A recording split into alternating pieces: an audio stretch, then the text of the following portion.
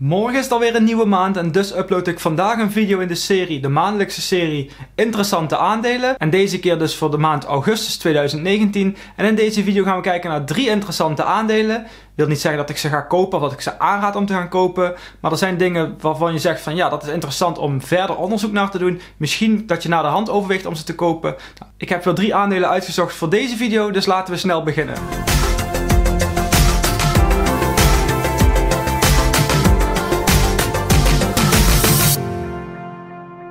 Leuk dat je kijkt naar een nieuwe video van een passiefeinkomen.nl. Mijn naam is Ruud en op dit kanaal maak ik elke week twee video's die gaan over persoonlijke financiën, investeren, beleggen of passief inkomen. Dus zijn dat onderwerpen die je leuk vindt, waar je meer over wilt zien Abonneer je dan hieronder op het knopje. Mis je nooit meer een video. Klik op het bel-icoontje. Dan zul je zeker nooit meer een video missen. Want dan krijg je telkens natuurlijk een alert, een notificatie wanneer er weer een nieuwe video is. Maar zoals gezegd gaan we in deze video weer kijken naar drie interessante aandelen. Dus elke maand kies ik drie aandelen uit die zijn opgevallen in het nieuws. Of in dit geval zijn het vaak uh, de laatste kwartaalcijfers zijn bekend geworden. Nou, daar zullen wat dingen goed zijn, wat minder goed zijn. Maar in ieder geval het zorgt ervoor dat interessante bedrijven zijn. En het zijn ook drie bedrijven die jullie allemaal zullen kennen. Maar voor voordat we gaan kijken naar de bedrijven van deze maand, gaan we eerst altijd even kijken naar de bedrijven die ik vorige maand als interessante aandelen had uh, ja, benoemd eigenlijk. En het eerste bedrijf daarvan was Adobe. Dan gaan we daar naar kijken, dan zul je zien dat zij de afgelopen maand plus 2% hebben gedaan. En uiteindelijk het hele jaar staan ze dus al op plus 36%. Het tweede bedrijf dat ik vorige maand had meegenomen was PayPal. Dat heeft dus 2,7% ingeleverd de afgelopen maand. Dat is onder andere na de laatste kwartaalcijfers. Maar ook zij staan nog steeds plus 33% in dit jaar. En het laatste bedrijf dat ik aanraadde als interessant aandeel was Tesla. We weten allemaal hoe Tesla, hoe hard ze zijn geraakt bij de laatste kwartaalcijfers. Omdat ze dus wel net niet hadden gehaald wat analisten hadden verwacht. Uh, toch staan ze nog steeds plus 2,3%. Maar voor het hele jaar staan ze nog steeds 30% in de min. Dus ja, dat is nog wel steeds een grote tegenvaller. Zeker aanzien het mijn grootste losse positie is eigenlijk. Maar laten we nu dan gaan kijken naar het eerste interessante aandeel van deze maand. En dat is PayPal. En dit is dus een van die bedrijven die ik afgelopen maand ook al aanraadde. En zoals we net hadden gezien, hadden ze een, ja, een verlies van 2,7% in de afgelopen maand. Wil je nou mijn analyse van vorige maand zien?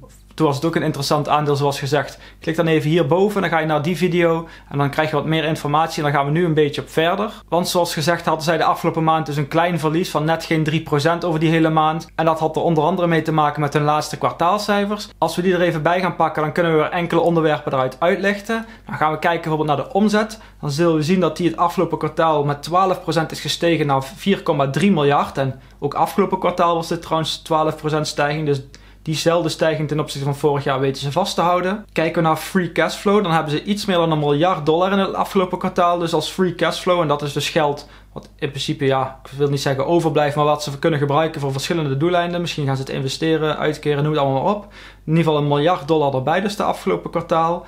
Ook hebben ze wederom 9 miljoen nieuwe accounts. En inmiddels is naar 286 miljoen uh, accounts gestegen. En ook afgelopen kwartaal waren het er trouwens 9 miljoen. Dus er zit geen groei in, maar het is wel telkens steeds hetzelfde. Kijken we naar het aantal betalingen, dan waren dat er 3 miljard in het afgelopen kwartaal. En dat is een stijging van 28% ten opzichte van vorig jaar hetzelfde kwartaal dus.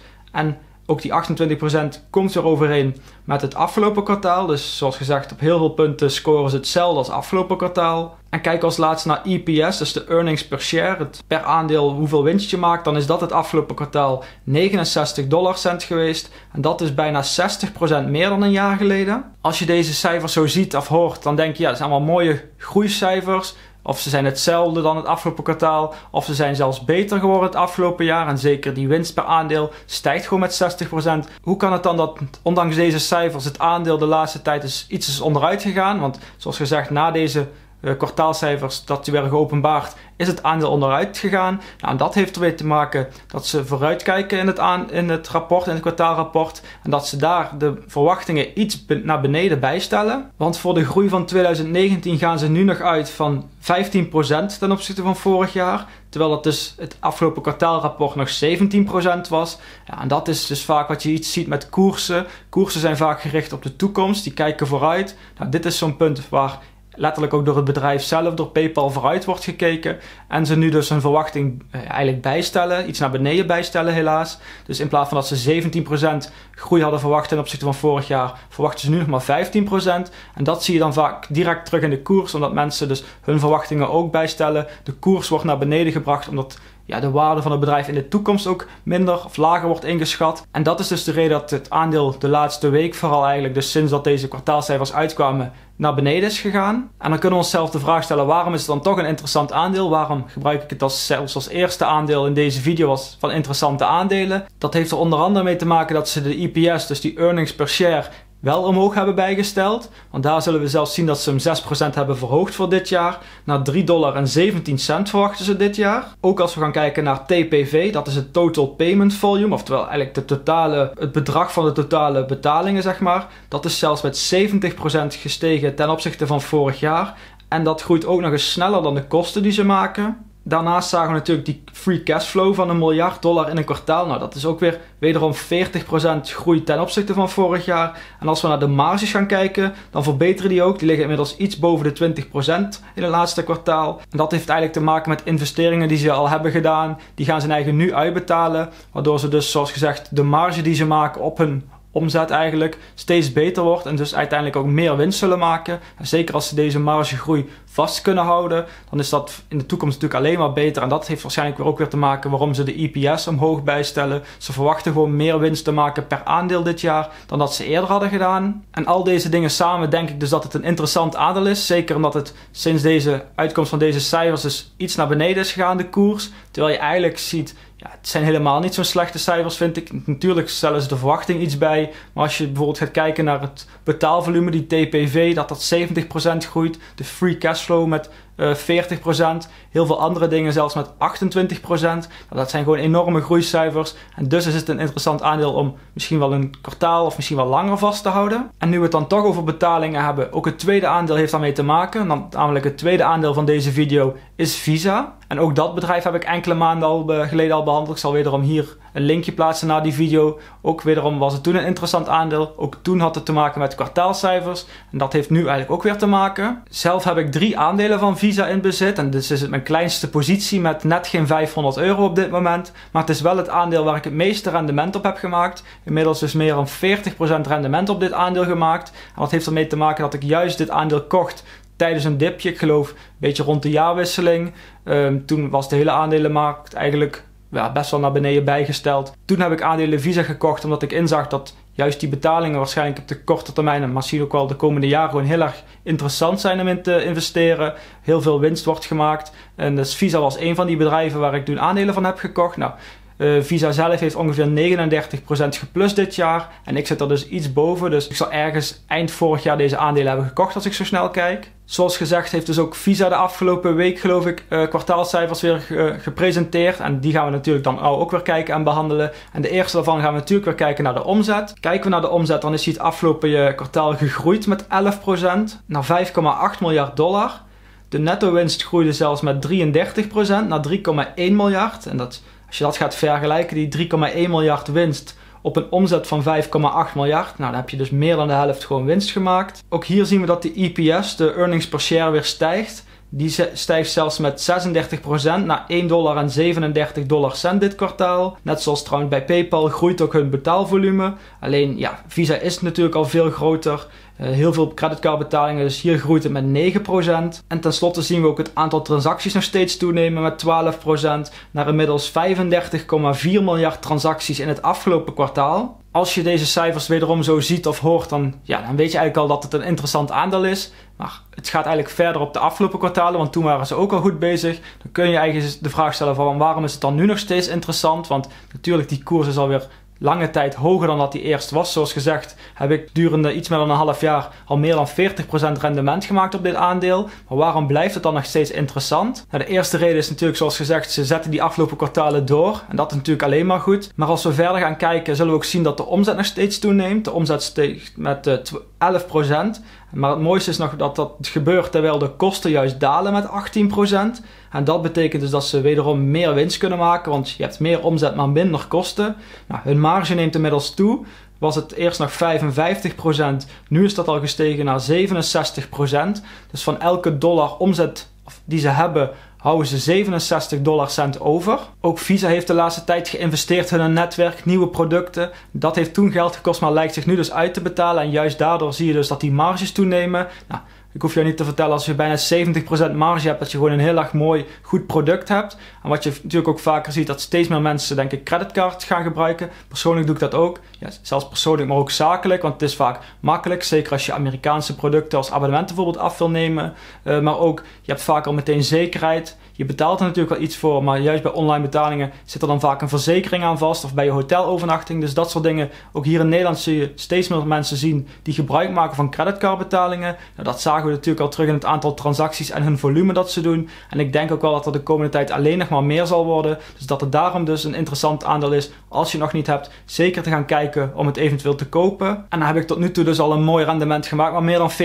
Nou dat moet je misschien niet meer verwachten voor de tweede helft van het jaar. Maar zelfs als het aandeel maar enkele procenten zou stijgen, is het natuurlijk nog steeds interessant. En denk ik zeker dus ook op de lange termijn een aandeel is om vast te houden. En dan komen we nu aan bij het derde aandeel. Het derde interessante aandeel dus van deze maand. En dat is geworden Facebook. En voor de vaste kijkers die zullen weten, ook dat is wederom een aandeel dat ik al eerder heb behandeld in een van die video's. Ik zal daar trouwens ook wederom een eh, link van plaatsen. Mocht je nou denken, nou dat is ook niet echt origineel. Doe eens een keer een andere bedrijf of aandeel. Nou, ik heb gewoon nu drie interessante aandelen volgens mij uitgekozen. Maar als je altijd suggesties hebt, um, bedrijven waar je zegt van kijk daar eens naar. Laat in ieder geval onder deze video weten. Misschien dat ik het dan wel de volgende maand meeneem. Maar nu gaan we dus kijken naar Facebook. Voordat we naar hun kwartaalcijfers gaan kijken. Want ook die zijn dus afgelopen week weer uitgekomen. Het was een drukke week met kwartaalcijfers. Wil ik eerst even zeggen dat ik zelf 10 aandelen van Facebook heb. Uh, die zijn op dit moment 1760 euro waard. En ik heb tot dit moment dus een rendement gemaakt van 19%. Ook dit was trouwens een aandeel dat ik na een dipje heb gekocht. Ik geloof ergens halverwege vorig jaar. Toen had je het eh, Cambridge Analytics, uh, volgens mij dat schandaal. In ieder geval, toen ging de koers dus al vrij snel 20% onderuit. Op lange termijn denk ik altijd dat Facebook er wel weer bovenop komt. Nou, het heeft dus even tijd gekost. Maar inmiddels heb ik dus is de koers hetzelfde, maar ik heb dus al bijna 20% rendement gemaakt. En eigenlijk zie je dat dus terugkomen met verschillende aandelen die ik heb. Dus juist misschien daarom dat PayPal nou wel zo interessant is. Aangezien die na de laatste kwartaalcijfers dus een beetje onderuit zijn gegaan. Geen 20%, maar wel een procent of 5 was het geloof ik. Dus misschien kun je daar wel van profiteren. Maar Facebook is juist de laatste paar dagen met 3% onderuit gegaan na die kwartaalcijfers. Nou, gedurende het hele jaar staan ze nog sinds het begin van het jaar 49% in de plus. Dus dat is altijd nog prima. Maar laten we ook hier bij Facebook natuurlijk weer even kijken naar die laatste kwartaalcijfers. Want daar zijn we eigenlijk de actuele informatie en veel interessante dingen zien we daarin terug. Belangrijk bij Facebook is altijd eerst te gaan kijken naar de dagelijkse of maandelijkse gebruikers. Nou, als we gaan kijken naar de dagelijkse, is dat weer gegroeid met 8% naar 1,58 miljard mensen die dagelijks dus Facebook gebruiken. Natuurlijk is ook altijd de omzet interessant. En kijken we daarna, dan is die het afgelopen kwartaal gegroeid naar net geen 17 miljard. En dat is dus een plus van 28% maar liefst. En kijken we nou juist naar die omzet, dan zullen we zien dat um, ehm, 98,5% via advertenties komt van Facebook. En die andere 1,5% komt wat uit producten of services die ze aanbieden. Maar zeg maar bijna gewoon de hele omzet is afhankelijk van Facebook advertenties. En natuurlijk is dan die omzet interessant, maar wat het veel interessanter maakt is om te gaan kijken bij welke groep gebruikers geografisch gezien, dus via welk continent, waar wordt daar de meeste omzet geboekt. Nou, eerst kijken we altijd naar uh, de US en Canada, want dat is waar Facebook gevestigd is, eigenlijk hun grootste ouderwetse groep zeg maar zit. Als we daarna gaan kijken, dan hebben ze daar een omzet van iets meer dan 33 dollar. En dat is dus iets meer dan 28% gegroeid met vergelijking met vorig jaar in deze periode. Kijken we naar Europa, dan zul je zien dat ze op 10 net geen 11 dollar hangen.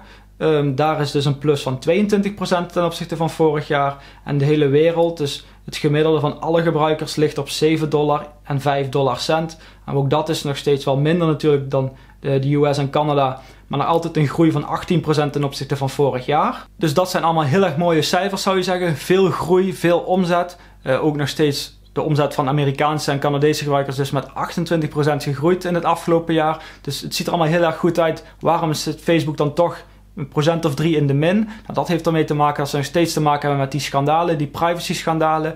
Die laatste heb je misschien wel in het nieuws gezien. Hebben ze 5 miljard aan de kant moeten zetten. Daar hebben ze al een gedeelte afgelopen kwartaal voor gereserveerd. En nu ook nog een gedeelte. En wat je ook zult zien is dat ze nog een boekhoudkundig, uh, zijn de regels aangepast geloof ik in ieder geval, nog 1,1 miljard extra kosten hebben. Ja, die boete en deze boekhoudkundige zijn dus denk ik eenmalige kosten die nu de afgelopen twee kwartalen dus daarmee verrekend worden. En dat we daardoor dus zien dat juist die afgelopen kwartalen de omzet een stuk terugvalt. En niet eens zelfs de omzet natuurlijk, maar de winst. Want ze moeten meer kosten maken vanwege die boetes of dat soort dingen of die verrekeningen. We zien dus dat de winst juist naar beneden wordt uh, bijgesteld. En dat heeft natuurlijk ook weer impact op je EPS, de earnings per share, de winst per aandeel kun je zeggen. Nou, daar zien we natuurlijk dat ook daar de laatste kwartalen gewoon telkens tegenvalt eigenlijk. Zeker als je gaat vergelijken met het afgelopen jaar. En dat heeft waarschijnlijk ook weer de impact op de koers. Waarom denk ik dan dat Facebook een interessant aandeel is? Nou, als we eerst gaan we weer kijken naar de US en Canada, dan zie je gewoon dat de omzet van gebruikers daar nog steeds, ook al is het daar heel erg populair al lange tijd, nog steeds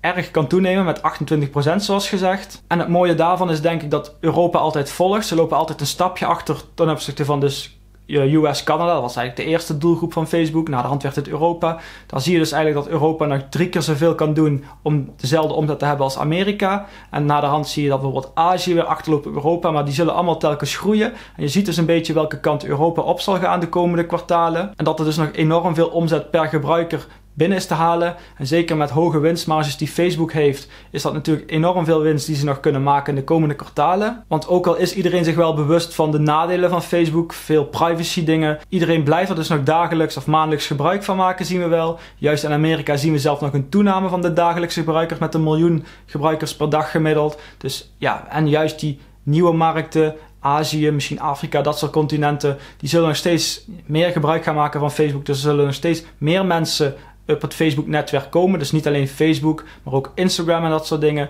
Eh, het zal nog steeds blijven groeien. En zoals we net zagen, komt bijna de volledige omzet eigenlijk uit de advertenties die ze plaatsen op jouw Facebook-feed of Instagram, noem het allemaal maar op. Nou, ze hebben natuurlijk een enorm krachtig en uniek uh, advertentieplatform eigenlijk. Want de andere grote concurrent qua advertentie is Google. Maar dat is meer als mensen iets zoeken, dan zullen zij iets laten zien. Bij Facebook kun je juist mensen veel beter benaderen. Daar kun je zeggen van ik wil mensen in die regio die aan die interesses voldoen, die wil ik graag een advertentie tonen. Dus ja, dat, vaak zul je ook zien dat daar meer betaald voor wordt. Omdat je al de doelgroep heel specifiek kunt bereiken eigenlijk op die manier. Dus juist hun advertentieplatform is een, nu nog wel vrij uniek en zeker op deze schaal. En dat zal dus ook de komende kwartalen of jaren niet zo snel geëvenaard worden door een concurrent. Zoals ik al zei, heeft Facebook mooie marges. Maar wat we zien is dat deze laatste kwartalen ook weer toe het nemen zijn. Dus ja, hoe meer marge, hoe meer winst je uiteindelijk maakt. Zeker als ze deze lijn door weten te zetten naar de komende kwartalen. En de laatste tijd heeft Facebook veel personeel aangenomen. Er zijn natuurlijk veel kosten mee gemoeid. Maar inmiddels zul je zien dat ja, dat personeel is er. De kosten zijn vaak al gemaakt. En die natuurlijk personeelskosten blijven nog. Alleen zullen nu ook gaan profiteren van wat die mensen doen. Zo zullen ze bijvoorbeeld meer toezicht gaan houden. Waardoor Facebook weer beter beschermd is. Maar uiteindelijk als de uh, omzet per gebruiker gaat groeien. Zal het zich makkelijk terugbetalen. Dus dat is meer een investering in de toekomst. En nou hebben we het al gehad over die boetes. Dus die ene was zeg maar 5 miljard. En ook ja, het was niet echt een boete, maar ze hebben dus nog meer dan een miljard belasting moeten verrekenen van de afgelopen tijd. Dus de laatste tijd is er al meer dan 6 miljard aan geld zeg maar, uitgevloeid aan eenmalige dingen. Maar als we juist naar hun cashpositie gaan kijken, dan zul je zien dat die nog nooit hoger is geweest. Op dit moment hebben ze net geen 50 miljard dollar cash. Dus ze hebben enorm veel geld achter de hand eigenlijk om misschien overnames te doen, te investeren, dat soort dingen. Dus ze zijn echt wel voorbereid op de toekomst om daar optimaal van te profiteren. En al deze dingen samen denk ik gewoon dat het, zoals gezegd, het was eerder al een interessant aandeel en ook de komende kwartalen als je ziet welke groei Facebook aan omzet al per gebruiker boekt en hoeveel mensen nog steeds zijn eigen aanmelden voor dit platform. Dus niet alleen Facebook, maar ook Instagram of in andere dingen, andere diensten. Dan is het iets voor de komende tijd waarschijnlijk wel erg interessant is om een aandeel van te hebben. Zeker als dus die marges toenemen en uiteindelijk ook de winst weer toe zal nemen. En daarmee zijn we aan het einde gekomen van deze video. Vond je nou een leuke, interessante video? Geef even een duimpje omhoog. Vond je het wat minder? Geef een duimpje omlaag, maar laat in ieder geval weten wat je goed of minder goed vond. Dan neem ik dat mee naar de volgende video. Mocht je nou nog vragen of opmerkingen hebben, misschien dus bedrijven waarvan je zegt onderzoek dat is, misschien is dat interessant kan ik het meenemen in de volgende video. Laat in ieder geval weten onder deze video in de reacties. Of kom naar onze Discord chat. Ook een link daarvan vind je onder deze video. En als je nog geen lid bent van het kanaal, maar je zit nog wel steeds te kijken, is het dus waarschijnlijk een interessante video. Zoals gezegd maak ik elke week twee video's. Die gaan over persoonlijke financiën, investeren en beleggen of passief inkomen. Dus ben je nog geen lid van het kanaal, abonneer je dan hieronder op het kanaal. Klik op het bel-icoontje en krijg je altijd een melding als ik weer een nieuwe video upload. Dan mis je zeker nooit meer een video. En dan zie ik je graag terug in de volgende video.